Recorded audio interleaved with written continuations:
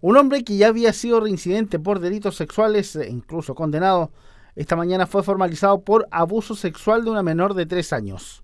Mira, esto se surgió a raíz de una detención que realizó Carabineros a instancia de una abuelita que concurrió hasta un domicilio a prestar servicio. Y resulta que concurrió con su nieta eh, de tres años de edad y ella fue abusada por el dueño de casa.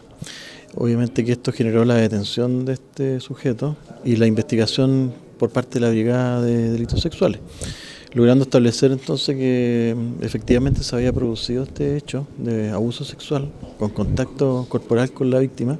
El que la menor contara los hechos a una de sus familiares fue clave para que este sujeto fuese denunciado de forma inmediata. Se trata de un sujeto que tenía varias condenas anteriores por eh, situaciones relacionadas con agresiones sexuales a, menores de edad.